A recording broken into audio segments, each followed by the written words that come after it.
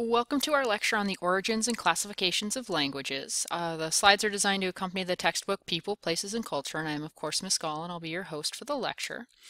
So just to give you some idea of what we're talking about when we talk about languages and where they come from and how they've spread and things like that, just to give you kind of the general idea, right?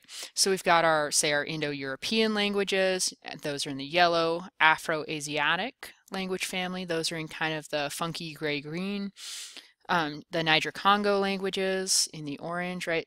Uh, we've got Saharan, Sudanic, Khoisan, um, also all in Africa.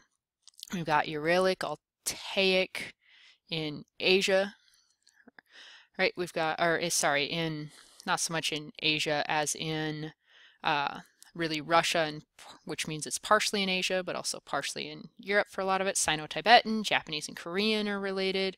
Dravidian, yeah, you get the idea. You can look across this and see where do we see speakers of different types of, of languages, right?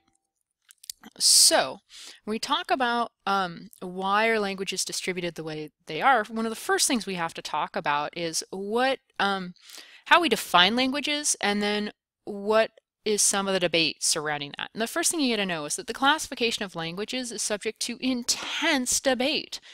Um, and so most linguists say that there's a few dozen language or a few language families.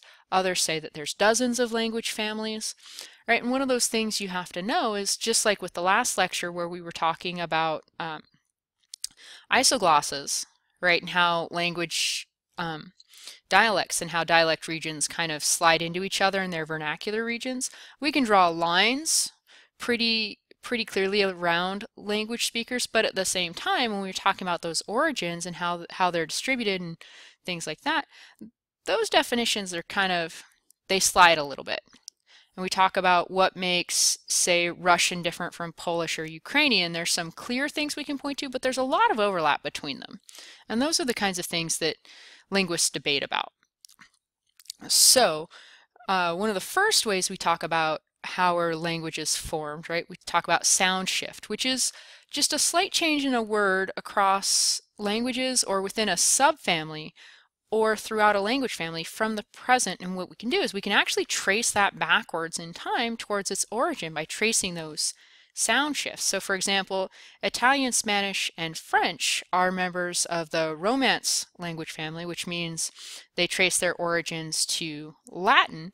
And one of the ways that we can tell that is, for example, um, the word they use for eight, and it's, let's see, it's, or the prefix is, I think it's otto in Italian, it's octo in Spanish, and I'm forgetting the French version, but it's very similar. And you can see, even with those two, how they're actually very, very similar. Right? So one of the things that linguists do is they try to trace these, trace these sound shifts across space and across time.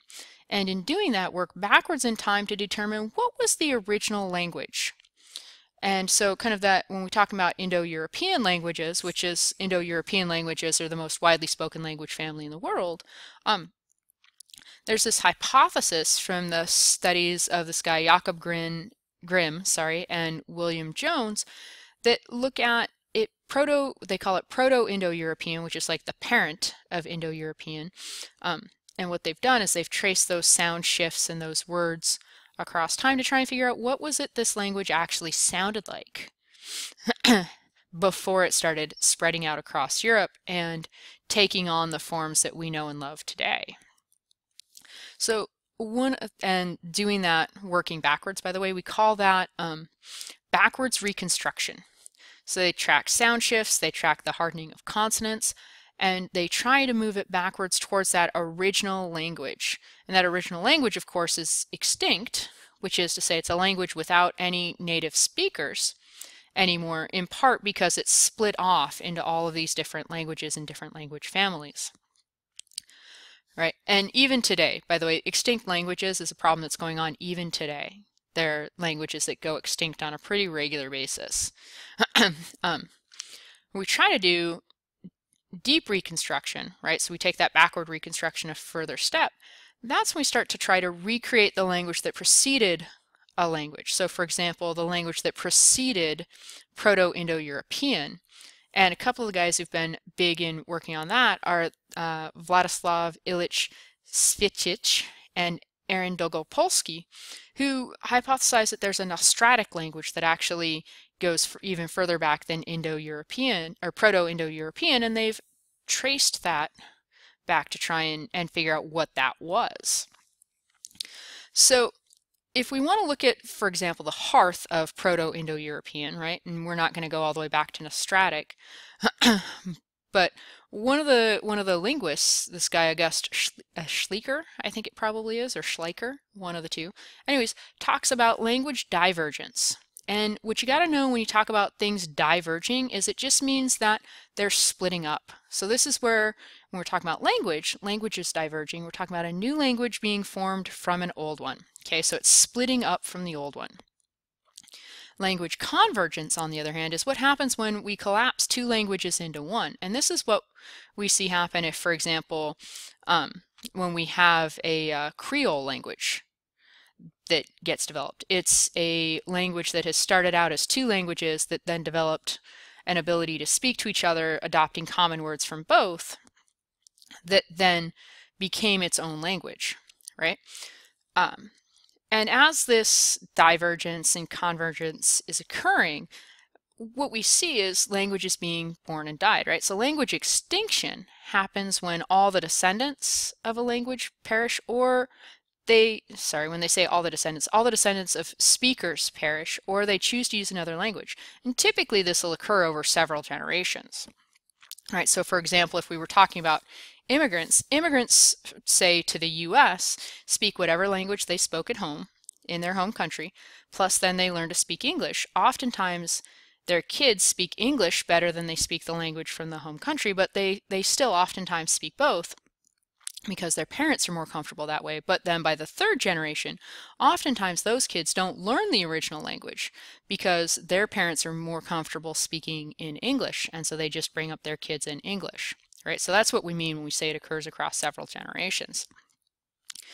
and if we were going to try and theorize where is the hearth of that Proto-Indo-European language, what we would do is place it somewhere in the vicinity of the Black Sea or maybe East Central Europe. So if we're going to look at um, the language tree, which is a great way of, it's a great visual aid to try and help you figure out, pardon me, where languages come from and what are the relationships between languages.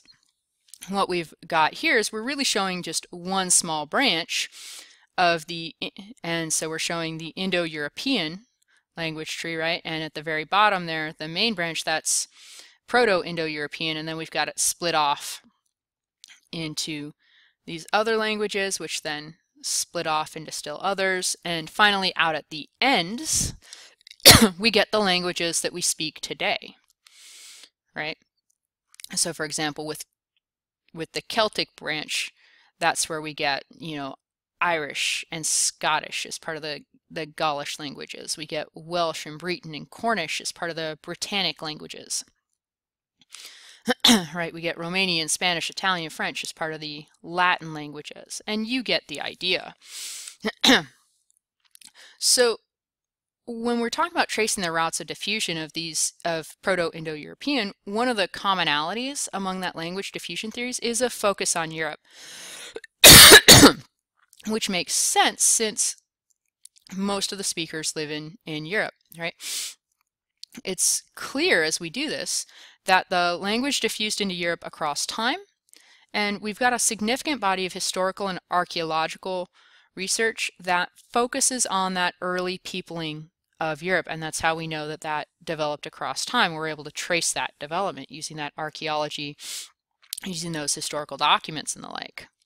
Um, there's really two major theories, by the way, that talk about how um, Proto-Indo-European diffused into Europe and so uh, we've got the conquest theory, which is to say that it spread from east to west over on horseback uh, as new inhabitants overpowered earlier inhabitants and began um, diffusing and ultimately differentiating those Indo-European tongues as those um, conquerors spread out across Europe, Right, an alternative theory to that, by the way, uh, which is not violent. So the conquest theory focuses basically on spread through warfare, but an alternative theory proposes that it actually spread westward through Europe with the diffusion of agriculture and agricultural techniques. So that's obviously a much more peaceful way of uh, doing it. and then another kind of hypothesis to go with this focuses on how uh, the Proto-Indo-European language was first carried eastward to Southwest Asia. Okay, so that's um, really today we call that the Middle East, right? Next, kind of around the Caspian Sea, so that's right around Turkey, thereabouts, and then across the Russian Ukrainian plains and on into the Balkans, and then down into Europe from there. And these are just some maps to give you a little bit of an idea of how that, that might have worked. So for example, if we're talking about the proposed westward dispersal roughly through content, you can see on the map on the left, on the bottom right hand corner, we've got our hearth in Anatolia, which places it right around modern Turkey. And it kind of spreads out from there down through Greece and then across parts of the Mediterranean and out and up. And then if we look at the dispersal hypothesis, which is the one on the right, it's a little bit different. It's that we start in not quite the same area, right? So instead of starting in Turkey, we're starting a little further um, south and going from kind of the Caucasus Mountains around the Caspian Sea up and then through and down into to Europe from there. So this has been our lecture talking about the um, origins and dispersals of, of sorry, origin and diffusion of language. Talked a lot, a lot of the big focus on Indo-European and the Indo-European language family and specifically Proto-Indo-European and how that language kind of spread out and where it may have come from and also how we reconstruct what that language is. Um, what we didn't do was look at very look at specific languages other than to talk a little bit about sound shift and how that works and how we can use that then to trace the origins of these languages. So if you have questions, I'd be delighted to do what I can with them. Uh, please feel free to bring them into class and I will see you the next time we meet.